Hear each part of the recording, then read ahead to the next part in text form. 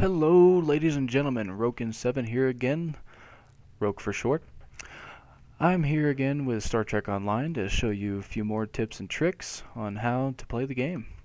Now, today, oh, I wasn't really sure on what to do for the uh, video, so I decided that I would show you how to uh, navigate the fleet page, pretty much, and how a fleet could help you get better in the game, so to speak, like make your ship stronger and find friends and all that fun stuff there. Anyways, let's go to the fleet page. You won't be able to access this page until you join a fleet. So here's our page here. We're a relatively small fleet, but we're moving along pretty well. Now, this is what you'll see at first. You're going to see your fleet's uh, symbol right there. You're going to see their name, their fleet level, and Fleet XP. That right there is just accumulation of all this stuff here plus all the other holdings put together. Now that's for the Starbase and this is for our mine, um, the embassy, and the spire. Now, this right here is the message of the day. Usually uh, this will be done by someone in the fleet who's in charge of it. Some some fleets don't really care, and the guy who's the head guy who's in charge handles it. Our fleet, um, I have our first officer handle all this stuff. He does a really good job. But anyways, let's not ramble on about that.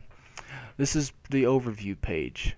Now, Star Trek Online is really good about having everything in tabs that you can move around and all that fun stuff, blah blah blah. Anyways, now this is the fleet activity right here. This tells you what happens uh, with other members of the fleet. So Paul, one of our guys, has been promoted to. It doesn't really tell you because it's probably a glitch. So more than likely he wasn't promoted at all, and this is just very old. So don't ever really worry about this stuff unless you're trying to find out if one of your friends is still in the fleet or something. I don't know. So anyways, holdings. This is the holdings page. You won't be able to see this right here if you're a lower member. If you do not have access to this part of the fleet, you won't be able to see it. Plain and simple. So, this is the, the lithium mine. Sorry about that. And this pretty much will show you how far along we are on the dilithium mine. And these are the open projects at the time, which they're complete, so I can't really show you how that works. Here we go. Here's some. Now, these right here are projects that you can donate to, which, in fact, can greatly help you out in the game. Now, you may not want to join a fleet, you may want to go it alone, but Star Trek Online is really moving towards, you know, making people have to be in a fleet, you know, to have to interact with others, which is a good thing, but, you know, I wasn't really all for it. I wanted to just play the game by myself till I made some really good friends on here, and we've been playing this game for going on three years now. And we do a pretty good job of helping new guys along. It's what our fleet does. So, with that said, this is the embassy and today I'm going to be helping you figure out all this stuff. So, when you donate to these projects you get something that's called fleet credits. When you get fleet credits you can spend them on a vast number of items.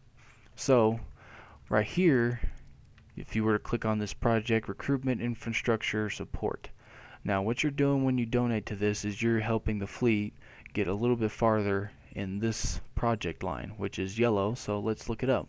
What is yellow? Recruits. Okay, this is recruitment for, I guess, Starfleet. I don't know. It's just recruitment, whatever. And if we finish this one, Tier 3, we get completing this project gives you your fleet the following options, unlocks plus one duty officer assignment slot, which will um, be something that you can purchase from the embassy and duty officer assignments, if you saw my previous video on duty officer assignments and stuff like that, I forgot to mention that you only get 20 officers out, or 20 projects out at a time for duty officer assignments. So this will give you 21, so to speak. So Romulan duty officer recruitment contact unique purple officers. That will give you Romulan duty officer recruitment contacts. So this will give you um, a chance to get unique purple duty officers from a Romulan duty officer guy. Um, new provision re requisitions, equipment. Uh, we, you can now get uh, personal ground kit variants, Mark 12, and very rare Romulan bridge officer recruitments. So, this right here, I will just have to show you because these guys are awesome. They're all right here. As you can see, my entire crew, except for the one Vulcan, is all Romulan. And let me show you why. For instance, uh, one. I don't know if it'll really tell me, but if you ever want to know what uh, your duty officers can give you, because they also help you out like your duty officers do. Your bridge officers can give you all sorts of crazy tricks, like this right here. Uh, acute senses. This is a ground ability, ground ability, and that's another one. Now, superior Romulan operative plus critic crit and crit severity. So critical chance and critical severity, reduced cloak cooldown. Let's get the details on that. Space trait increases critical hit chance and critical hit severity, decreases the cooldown of cloaking abilities. Plus 2% uh, critical chance, plus 5% critical severity, and plus 15% uh, power recharge speed for cloaking. So if you have a cloaking ship, this would really help you out there. Plus, if you're a DPS dealer, this will really help especially for tanks who pick the engineering path. This will also help you greatly if you're not doing enough damage, you think. So these guys will help out a lot. The engineering ones, here it is, for space, um, increases the effectiveness of cloaking abilities and provides a minor defense boost, increases the effectiveness of the damage buff and ship gains after decloaking. The ship, sorry plus 3.8% defense after decloaking plus 0.2%. Damage bonus for 5 seconds plus 200 stealth when using cloak abilities. Oop, there it goes. Does not stack with other subterfuge bonuses, only the highest will apply. So, the stealth part does not stack for these guys, but this stuff does. That's good. And I think I have a science one too. Yep, sure do. What does he do? Uh, looks like the same thing. Yep, same thing as the engineering. The only one that's different is the tactical guys, which is really awesome. I like what they do. Um, let's see. So that was that. That's something that you can get from the fleet. So, with these fleet credits that you earn, that's just one of the things you can get. Within the fleet, you can also get tactical consoles from the Spire. You can get fleet weapons and fleet warp core, oh no, not warp core, fleet deflector, sorry, fleet engines and shields from the starbase. You can also get fleet ground gear like armor and personal shields and weapons. So that's one good reason to go there. They also hand out um, small side items for um, fleet actions only, where you can call in uh, fleet support ships from here. From the Spire, you can get um, special uniform. Um, you can get uh, special um, tactical consoles. You can get special fleet ships, which includes the Cadian, if I'm saying that right. Uh, if I'm not, I apologize. Cadian Atrox Carrier, which is a very huge ship. I can show you one right now. Mm, Federation, scroll down. Here it is. Pretty much one of the largest ships in the game. Shoots out a bunch of fighters. You can get the fleet version of it that will have a lot more hull strength and an extra console slot, I do believe. And you'll be able to wreak some havoc a little bit better with it. Now you can also get, I think, from the Spire, the fleet battle cruiser. I'm pretty sure it's where you get it from. If I'm not, correct me in the comments below. I apologize. But I know one of these projects or one of these um, holdings will give you that as well, which is another good ship, which comes with uh, an extra tactical slot. and a lot more hull. From the embassy, you can get science consoles along with uh, ground gear stuff. There's a lot of good ground gear stuff there. Um, you can find that all in the shuttle bay. Um, you have to take the transporter pad directly across from the huge or the turbo lift tunnel. Man, I'm out of it right now. The turbo lift goes down to the shuttle bay or up wherever the hell it is and you go out there and you talk to those guys one of those guys will give you science consoles another guy will give you ground gear stuff and if you go to the ops they will give you the duty officers I mentioned and they will also give you more fleet action stuff like Romulan reinforcement ships and all that fun stuff. What else? Um I don't really remember a lot, but if you just go through these right here, these three pieces, that will help tell you, along with these, new provisioned requisitions. These will all tell you what these places will give you. Every single one. I'm just naming the ones I know off my head, but the dilithium mine gives you warp cores, which are really awesome. Oh, the Spire gives you plasma infused warp cores, which react a little bit different. You'll just have to look that up. Um, dilithium mine will give you warp cores, engineering consoles, which can give you extra hull HP, will give you extra resistance, will give you a better turning rate, all that fun stuff. They also give you warp cores, like I said. This also runs for Romulans as well. So if you uh, have a Romulan character, you can also go to, if you went Klingon or if you went uh, Starfleet, whichever direction that you chose to go, you can go either way. And their Dilithium Mine, Embassy, Spire, and Starbase will give you the same thing. You'll be able to get um, your singularity cores and stuff that you need for your ship from these places as well.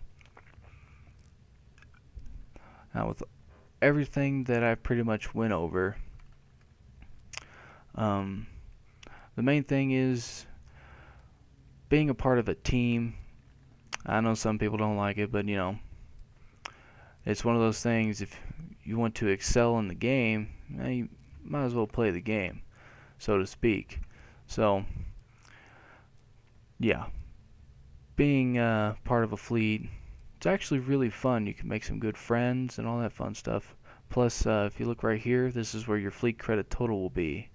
Now, some of these items can be kind of pricey, so you may want to save up as much as possible. Try and climb on the leaderboards.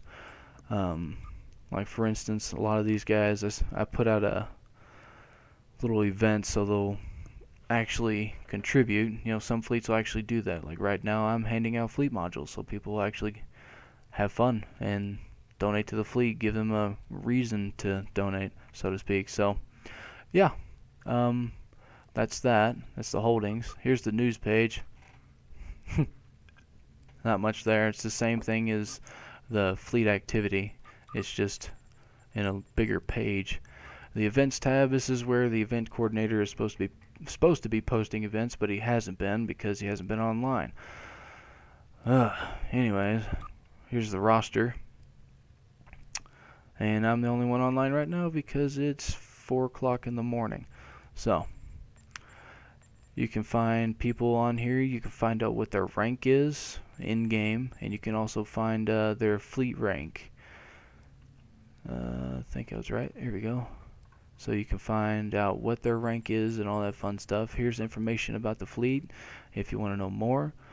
Um, settings. Here's the settings so you can see what your rank is allowed to do. There's a lot of things in here that you can do within the fleet. And some fleets will have most of that cut off up until you reach rank 5 or 6 and 7. So 7 can't be cut off at all. Uniforms, right now it is bugged all to hell, so I can't really show you any of these, but the higher ranks will list what you can have, and you can try and check these out from the uniform guys down on or space dock or wherever else you may go, Deep Space Nine and all that fun stuff. Whoops. I think that was it. Yep, that's all of them. Yep. Um, yeah, that's I think that's pretty much it. Well, this page, this piece right here just shows you featured projects where you can make the inside of the starbase look nice. It's not entirely something that uh, is worth it. There's different items for different parts. Like this is for the dilithium mine. I can already tell you that. That's for the embassy. Uh, dilithium mine, so on and so forth, stuff like that. Dyson sphere, and that this will tell you what the project is if you click on it events will pop up right here. Uh, I feel like I'm rambling on now. I think I covered everything. If, if there's something in here that I did not get, please leave it in the comments and I will answer you back and tell you what it is. Um, yeah, so if you ever want to join a fleet, our fleet is definitely open. We do nothing but training for people who don't really know what something is in the game. If you just want to join, to ask that question and leave. Go right ahead. We will answer the question. You can go right ahead and leave. So, yeah, that's my spill on this right here. Uh, if you like the video and you want to see more, uh, hit the like button, subscribe. Uh, if you have any comments, like I said, leave them down below. Um, any questions, I will answer them. Um, this is Rhoken7. Friends call me Roke. See you later.